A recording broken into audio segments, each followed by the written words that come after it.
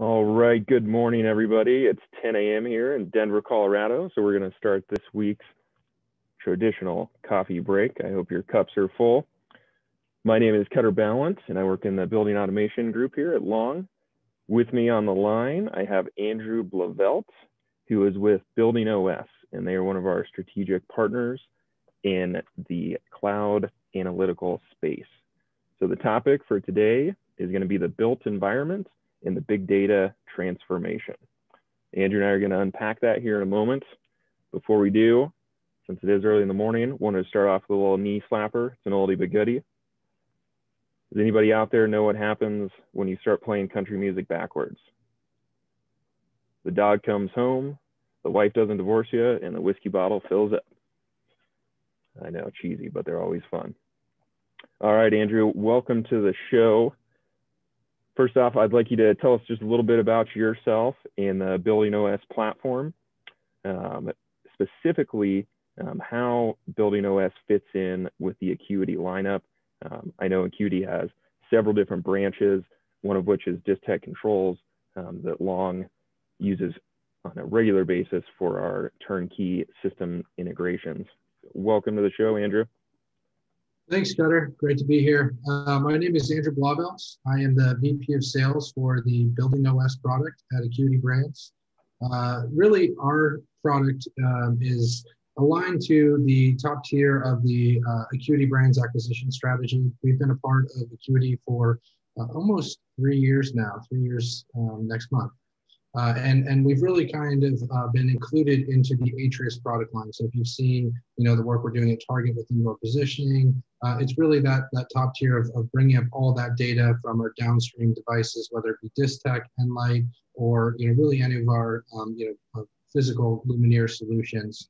Uh, but we also integrate a lot of other data, and we, we really work with uh, partners like Long to provide a, a seamless uh, layer over top of a lot of different systems, which we'll talk to today, um, and, and really kind of give that you know single pane of glass, as we like to say, um, over top of you know your your, your various downstream um, devices and, and systems, and and that really helps us from a, a, a, a workflow perspective of of making sure that you know everybody from building operations is working in, in one team, whether it be um, you know your your management, your your operations, your um, your sustainability groups, um, all working with one platform. Um, and we really alleviate a lot of those manual processes around you know, data collection from different building automation systems, metering systems, you know, the different utility providers even. Um, and then we provide um, data quality analytics. We, we make sure that that data is okay. We backfill historically uh, baseline data um, to make sure that you're getting a complete picture. Um, and then we, you know, really give visibility through world-class reporting um, and of normalized data sets. And that really starts at your highest level um, at the utility bills, you know, moving into sub-meters, uh, building automation data, you know, really anything from renewables, IoT, which in my mind is really just building automation. Uh, but there's a, a, lot of stuff that's coming out that's edge to cloud. Um, and then asset order, asset and work order data. So really getting lifecycle analysis data um, around your physical assets and creating a, a, digital twin in the, in the form of, you know, data in the cloud and knowing what it is, you know, what type of system it's, you know, involved in, and then, you know, kind of that entire um, you know, that entire ecosystem built into the cloud. And then we run a lot of cool things um, in the background to, to let you know that you know, things are running the way they should. We, we create uh, machine learning models of every system, sensor, um, every point in our system uh, is, is applied that, that model. Uh, and then we normalize it to cost, price, um, you know, provide reporting, um, uh, alerts, and, and schedule delivery of those alerts and, and your, your various reports and then it, it's all wrapped into one um, platform that you can see more of a hierarchy of all your data in it um, that's that's featured uh, again in the cloud. It's an excellent segue there, Andrew. Sounds like you're a, quite the powerful platform. Um, lately, I have noticed that many state and local governments are starting to mandate a lot of this uh, documented, accurate data. Um, in addition, it's starting to become more and more popular in the private sector. Um, can you speak to how we gather this data um, and what the value of a accurate data set is um, related to uh, local state requirements, um, as well as the private sector and, um, and how it can ultimately benefit their organization? Yeah, definitely. That's a great question. So one of the biggest uh, requirements we're seeing from customers lately is around uh, GHG emissions reporting. Uh, we do support um, Scope 1, Scope 2, and Scope 3 emissions reporting, as well as Energy Star Portfolio Manager, which I know is a, a local requirement. Um, I think it's any building above 50,000 square feet in, in Denver. Uh, and, and we automate that process, collect the bills, go up, talk to the, the uh, the API of Energy Star Portfolio Manager, populate that monthly, pull it back down and display it in your building. Um, which, you know, when you think about that process, it's very manual. You know, it's a lot of, you know, pulling data off of your bills. It's a lot of, you know, taking that and, and then applying the calculations, those emissions uh, accounting changes almost every other year. So you have to know which uh, year to align that to. And then you have, you know, in scope three, becoming even more prevalent, you know, just a myriad of different ways of accounting for even stuff like, you know, your the difference in a first class flight to a second class flight. So they can kind of go up and down. Um, and, and, and, and we see that being a very, uh, you know, a very manual process and, and through our tooling and our integrations, you know, we really make this something where you're going from a, a, a, process of pulling that in, applying your calculations a lot of times in, you know, Excel and, you know, we make it all automated. So you can, you know, rather than, you know, focusing on the, the process, you're really focusing on, you know, new, um, you know, opportunities for saving more value added tasks um, are really around, you know, you know, making sure that you hit those targets. Excellent, Andrew. Yeah, I've definitely been in uh, certain organizations where they have pages and pages of spreadsheets and they're entering all this data in. Um, and I just, I really don't see a way that a lot of that can be accurate um, at the end of the day. So thank you for, for sharing uh, with the audience on that. So next question that we're going to get into, it wouldn't be close to the one year anniversary of COVID uh, without asking it. So here we go. Um, it's obviously been an unexpected year, lots of challenges. Uh, can you talk about how COVID 19 is impacting energy um, consumption levels uh, related to occupancy, as well as new requirements from ASHRAE? Um, and then kind of set, roll that up into uh, how the Building OS platform uh, manages that. Yeah, yeah, it's a great question. Uh, we've seen this come up uh, across all of our partners, customers. You know, how do I make sure that I'm doing the right things in a time where you know I, I uh, you know you, you can't do year over year anymore. There's no way to say you know 2019 is anything like 2020. 2020 is going to be anything like 2021. Um, you know, was, 2020 was probably the most challenging year in modern history for anticipating forecasting energy consumption. I know our team at Acuity Brands was trying to figure it out because we had no one in the office. Um, and because of that, the data is, is skewed to the point where we can't really plan for future usage. Like you know, thinking about 20 to 2021. And we're not using any of that data to plan for 2021 because there's likely going to be, you know, a lot more ventilation causing actually higher. So it's this weird dip. And you've got a lot of companies and, and organizations that have planned 2021 as a year um, to baseline off of or as a year as a target. So if you're going in and 2020 was the time you're trying to hit, you know, percentage reduction in savings, you're looking like a rock star. But is that really the case? And, you know, moving into 2021, you know, how do you say that those additional um, energy usage isn't more than you should expect when, in, you know, when looking at those variables, which you mentioned around occupancy, airflow, weather. You know, we've got a lot of crazy stuff going on. Um, you know, you know, I think there's a big storm flying through the country right now. Um, and you know, we, we we had taken this on at Acuity, and I actually pulled some data from our one of our sites, um, looking at uh, you know how these respective variables affect your calculations of savings.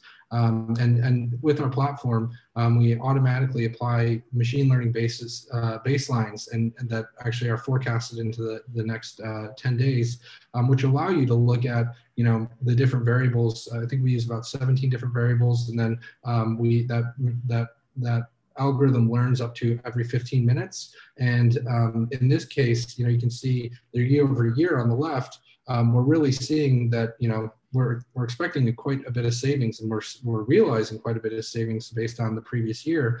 But if we look at the middle um, graph here, you know, we're layering in just the weather data and given weather alone, you know, that's already dropped to 10%.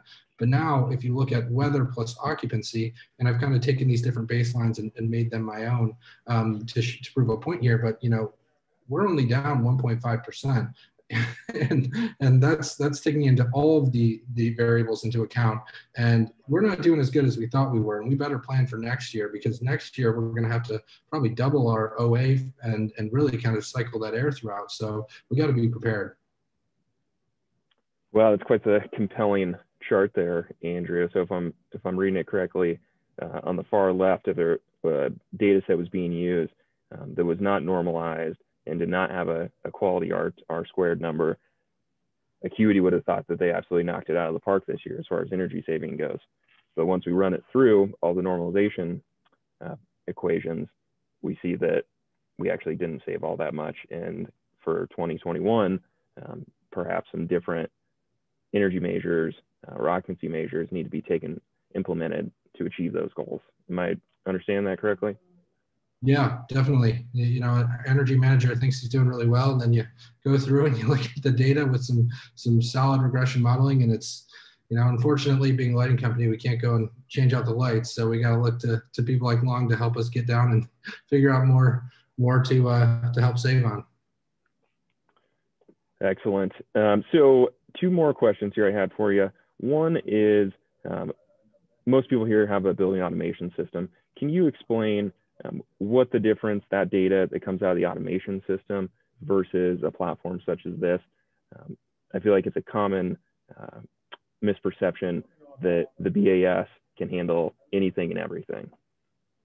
Yeah, so in this case, you know, the data you're looking at here is actually from utility bills. Uh, we, we actually can take that data from a utility bill through our integration um, with Distech and bring it back down to a building automation system and, and work more as a middleware.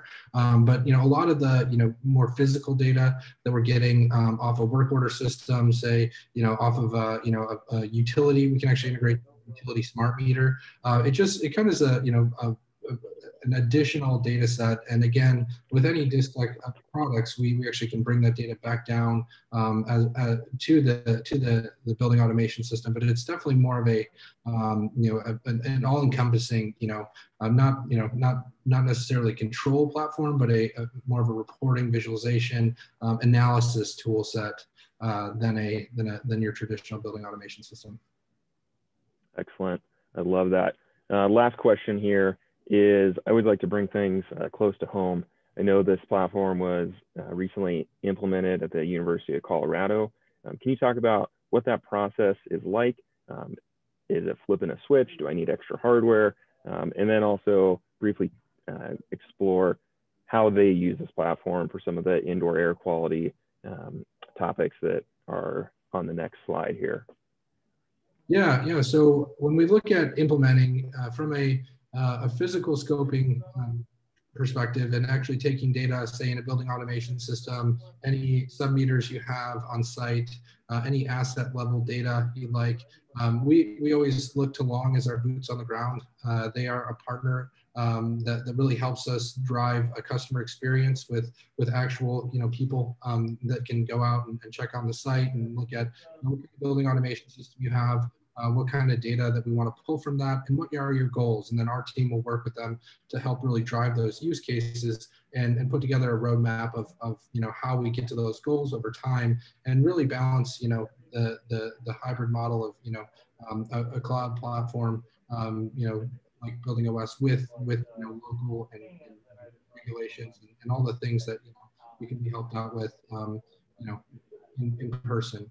Um, as far as you know, looking to what we're doing with uh, you know a lot of people on indoor air quality, um, and, and, really you know trying to help with, with going back to the office. Uh, this is a big, like you said, at universities like um, Colorado University and, and you know different uh, K through 12, um, and as well as corporate office buildings. It's, it's a it's a big thing on people's mind. We get calls about it all the time, and we work with a lot of our partners. We've actually built out a number of integrations to facilitate that, um, including this integration, which is actually to a, a, company called Senseware, which has an indoor air quality sensor, which can be installed and get you humidity, CO2, um, PM2.5, VOC, and PM10 data.